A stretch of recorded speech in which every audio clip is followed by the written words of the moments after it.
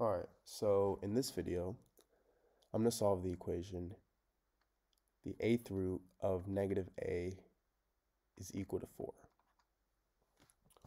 So I want to find the value of a. So to solve an equation like this, what I'm going to do is first rewrite the a-th root of negative a as negative a to the power of 1 over a. Because if I have the nth root of a number x, this is the same thing as x to the power of 1 over n.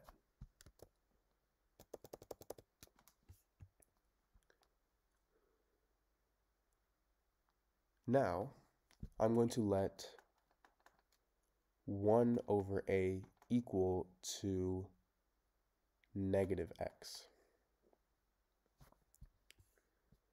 Meaning, a is equal to negative 1 over x if I rearrange these variables, and negative a is equal to 1 over x. So, this means that I have 1 over x to the power of negative x is equal to 4.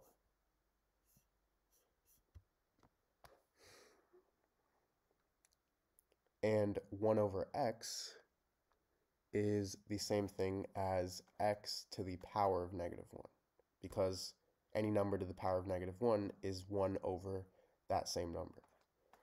So now I have x to the power of negative 1 to the power of negative x is equal to 4. And if I have something in the form a to the power of m to the power of n, this is equal to a to the power of m times n. So these two multiply, and I get x to the power of positive x is equal to 4. So this is basically asking what number to the power of that same number is equal to 4. And 4 is the same thing as 2 squared, meaning x is equal to 2. However, we aren't done yet because remember, we're trying to find the value of a, not x. And we let 1 over a equal to negative x. So if 1 over a is equal to negative 2, then this means that a is equal to negative 1 half. Now, before you leave, I actually have one solution, one another solution to this equation. and to use this to um, actually solve for the solution, I'm going to be using logarithms. So for the second method, I am going to be using logarithms. So our equation was again a to the power of negative, the a-th root of negative a is equal to 4. And what I'm going to start off by doing is again rewriting this as negative a to the power of 1 over a is equal to 4. But this time, I'm going to take the power of a on both sides.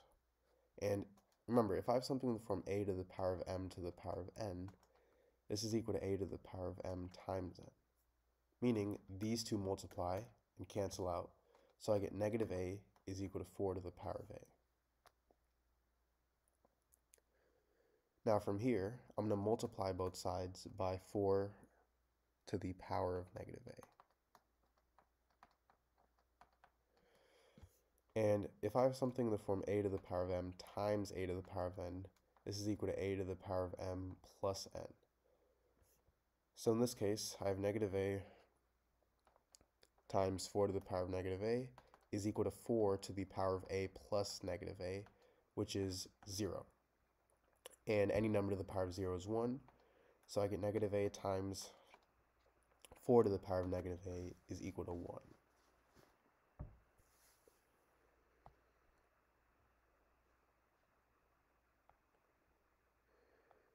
So this is where logarithms come in. I'm going to rewrite 4 to the power of negative a as e to the power of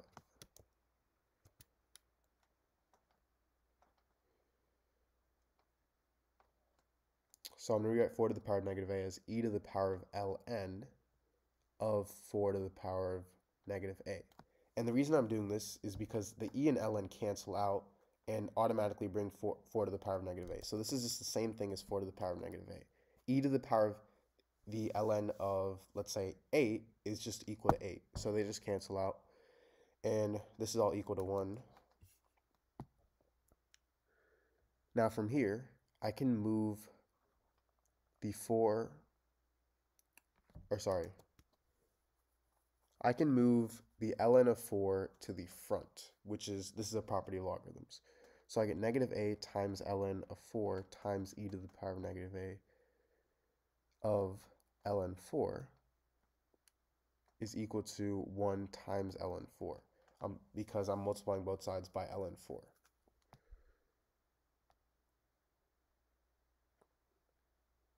And this turns into negative a times ln 4 times e to the power of negative a of ln 4 is equal to, I'm going to write ln 4 as ln 2 times e to the power of ln 2, which is just ln 2 times 2 because e to the power of ln of 2 is 2.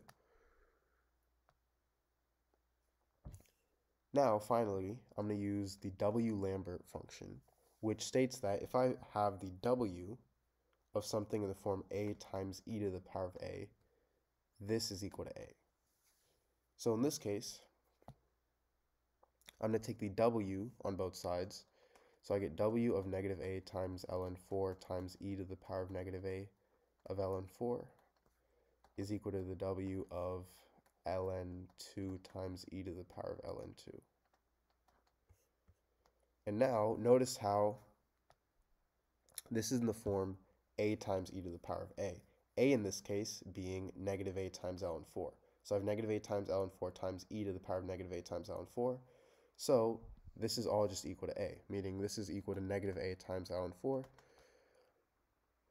which is equal to, again, a times e to the power of ln a, and a in this case is ln 2. So I get negative a times ln 4 is equal to ln 2. And now I'm going to divide both sides by ln 4. So I get negative a is equal to ln of 2 over ln 4, which is the same thing as ln 2 squared. And now I can move the 2 to the front. So I get ln 2 over 2 times ln 2. And these two cancel out. So I get negative a is equal to negative 1 half, or sorry, positive 1 half. And finally, if I multiply both sides by negative 1, I get a is equal to negative 1 half.